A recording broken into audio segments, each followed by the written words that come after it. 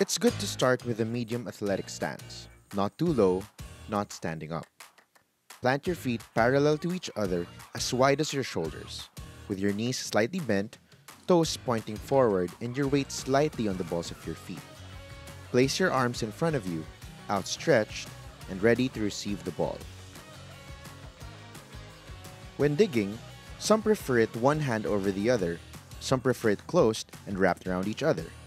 Either way, the most important thing is your thumbs are parallel to each other and both are pointing downwards. When your thumbs are pointed downwards, you'll notice that your arms would straighten and your shoulders would drive up.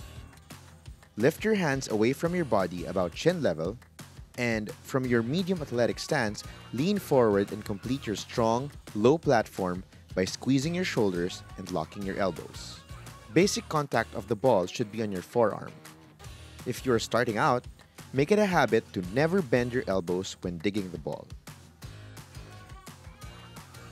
Much of digging relies on good footwork, and footwork varies depending on the speed and the strength of the ball coming at you. If you are digging an easy ball, you can take a step for that extra push. That extra push comes mainly from your legs, with the minimal arm swing support.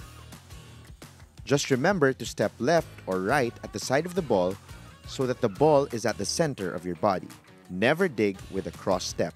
If you are digging a spike, it's good to be light on your feet, popping on your parallel feet as the ball comes towards you. Make sure your body and platform are facing towards your target. Remember, keeping your platform firm and angled towards the target are key, as well as a relaxed but proactive stance. Digging doesn't have to be fancy. Eliminating unnecessary movements can help you become a more efficient digger. Stay tuned for more solid volleyball videos.